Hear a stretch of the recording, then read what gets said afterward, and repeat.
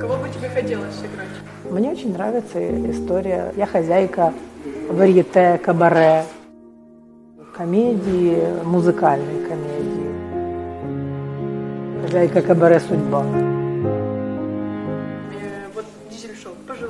На будущее, чтобы еще через три года Не, у меня это и личная цель, это 15-летие дизель- дизель-шоу, встретиться все вместе. Потом я собираю чемодан, ухожу, а шоу продолжается.